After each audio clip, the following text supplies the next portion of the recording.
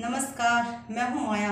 Maya's perfect रसोई में आप सभी का स्वागत है। आज हमारी परफेक्ट रसोई में हम बनाने जा रहे हैं लाल टमाटर की चटनी। आप सभी ने लहसुन, प्याज, धनिया, इनकी चटनी तो खूब खाई है, लेकिन लाल टमाटर की चटनी का स्वाद सबसे अलग होता है।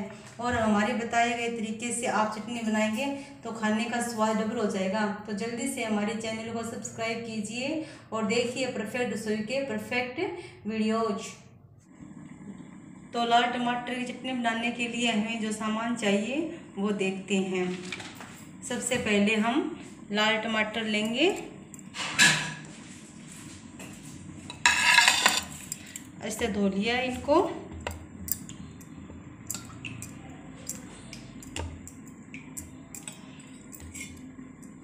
हमने सात टमाटर लिए हैं। थोड़ा सा कट कर देंगे। सभी टमाटरों के।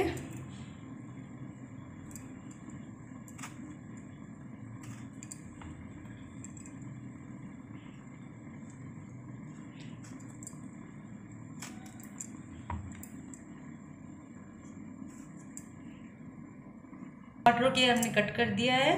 अब चलो इनको, इनके लिए गर्म पानी रखेंगे। ये टमाटर डालेंगे।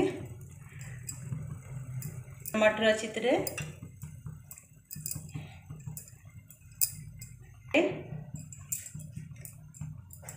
इसमें आसानी होगी कि इसमें छिलके आराम से निकाल सकेंगे। इन टमाटरों को हम दो मिनट के लिए ढक के रख देंगे अब देखिए हमारे टमाटर बॉयल हो गए हैं। अब इनको हम एक एक करके बाहर निकालेंगे। करने के लिए।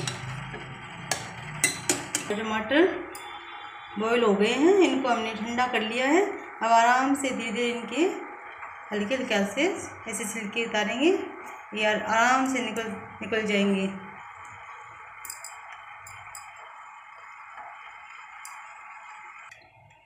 अब इन टमाटरों के रफली ऐसे छोटे छोटे टुकड़े कर लेंगे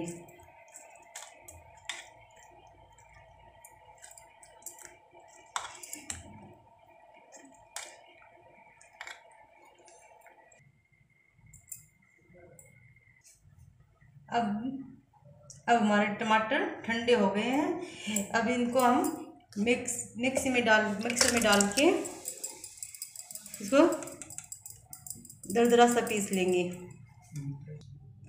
अब टमाटर हमने दरदरा सा पीस लिया है।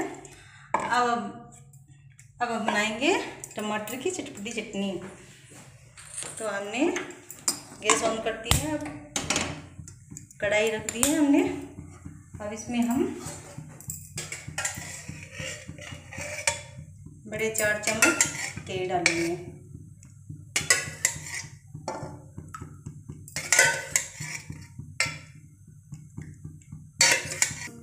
अब हम टमाटर की चटपटी चटनी बनाने के लिए हमने लिए हैं अजवाइन, सौंफ और सरसों छोंक के लिए। और हमने दरदरे से हमने प्याज काट लिए हैं छोटे छोटे टुकड़ों में और छोटे छोटे टुकड़ों में हमने लहसुन का पेस्ट बनाया है। और छोटे छोटे गरगरे से अदरक के टुकड़े हैं और एक हमने हरी मिर्च लिए अब हमने इसमें सरसों डाल दी है।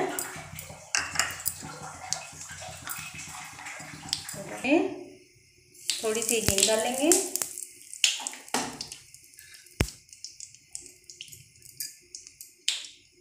अब इसमें पहले प्याज डालेंगे।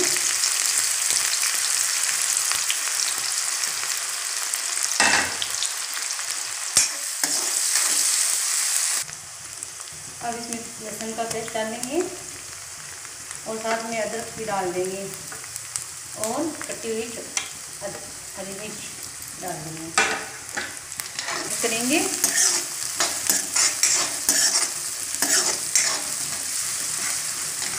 ये रेसिपी आपको बता रही हूँ ना, ये घर पे ज़रूर ट्राई करके देखना, बहुत अच्छी लगेगी और आप इसे परांठा के साथ खा सकते हो।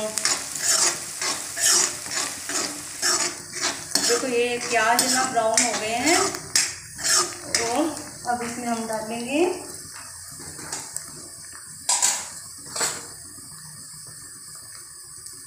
एक चम्मच नमक। दो चम्मच लाल मिर्च।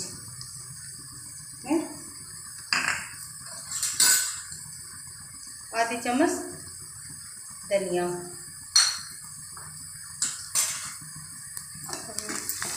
इनको अब मिक्स करेंगे।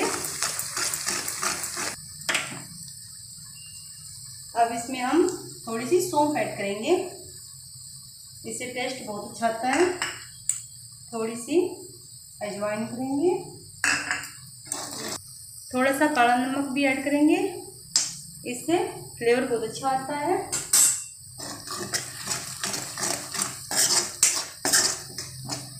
अब इसमें हम वो टमाटर की प्योरी डाल देंगे।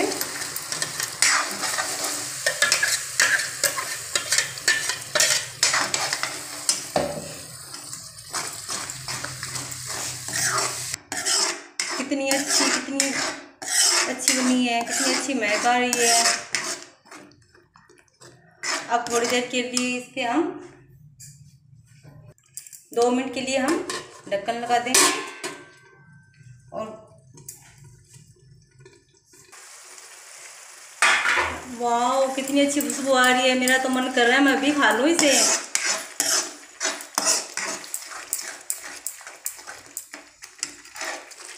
इसमें मैं गुड़ ऐड कर रही हूँ। आप चीनी भी डाल सकते हो, गुड़ भी डाल सकते हो, लेकिन मेरे घर वालों को गुड़ ही पसंद है तो मैं गुड़ ही डालूँगी। गुड़ डालने से एकदम चटपटी सी, तैयार हो जाएगी, और हम इसे काम में ले सकते हैं, दस दिन तक, पंद्रह दिन तक ये खराब नहीं होगी। अब गुड़ गुड़ इसमें मिक्स हो जाए, इसलिए हम दो मिनट के लिए ढक्कन लगा देंगे। ये हमारी चटनी तैयार है। आप प्लीज़ इसे ज़रूर बनाइएगा और आप टेस्ट करेंगे, खाएँगे, तब आपका मन बार बार बनाने का करेगा कि इतनी अच्छी रेसिपी है। इनका पानी जल गया है और ये चटनी ने तेल छोड़ दिया है तो मतलब ये तैयार है। अब इनको हम कढ़ाई से बाहर निकाल लेते हैं, जो कितनी अच्छी है, एकदम गरगरी।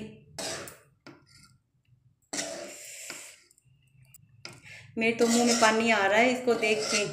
कितनी स्पाइसी कितनी अच्छी बनी है। लाल लाल टमाटर की चटनी, चटपटी चटनी।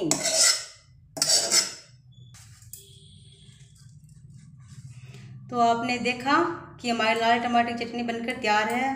जितना सुंदर इसका कलर दिख रहा है, उससे भी कहीं ज़्यादा अच्छा इसका स्वाद है। आप सभी को अगर हमारा ये वीडियो पसंद आया हो तो जल्दी से इसको लाइक कीजिए, अपने दोस्त और रिश्तेदारों के साथ शेयर कीजिए। और अगर आपने हमारा आलू के परांठे का वीडियो नहीं देखा है तो जल्दी से देखिए और लाल टमाटर चटनी के साथ आलू के परांठे का मज़ा लीजिए।